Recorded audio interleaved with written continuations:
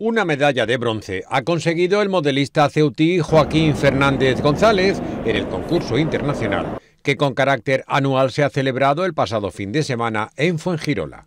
En el mismo certamen, otro modelista ceutí, José María Díaz Caparrós, ha conseguido colocarse entre los 10 mejores participantes. La medalla está ganada por un barco de Agustín.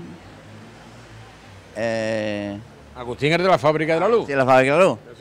esa barca la tenía abandonada ahí en Sevilla, unos familiares suyos, la trajo un poquito destrozada y entre él y yo la, la hemos reconstruido.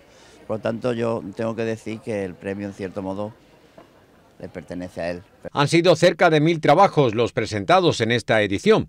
Los ceutíes, que gozan de gran prestigio en esta convocatoria, consideran que desde la organización se barre un poco para casa.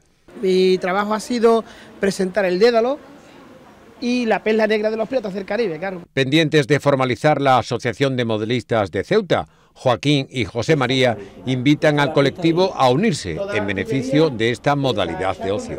Estoy intentando convencerles para darle alta a la asociación, definitivamente, porque es lo suyo. Que te conozcan, Asociación Miniatura Navales Ceuta, que es un nombre rimbombante, que es bonito, hubiéramos hecho nuestras camisetas y que el nombre de Ceuta, que la idea mía es que el nombre de Ceuta salga, allí de la frontera, es la única cosa que me, impulsa. Estamos reuniéndonos casi todos los miércoles en el parque cuando la gente ya no hay nadie.